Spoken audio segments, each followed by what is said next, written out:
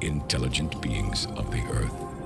We are located at a distance of 4.92 light years away from you, and we wish to give you one groundbreaking technology. First, we wanted to keep the car, to see the moonlight playing on its metal sides, to hear the roar of its engine breaking the sticky veil of the night, to see the light of its eyes pulling out an unruly relief from the shadow. First, we wanted to keep the car. In fact, we wish to give you one groundbreaking technology of our civilization. So, get to know it. Lexus RX 200 TF Sport, the extraterrestrial.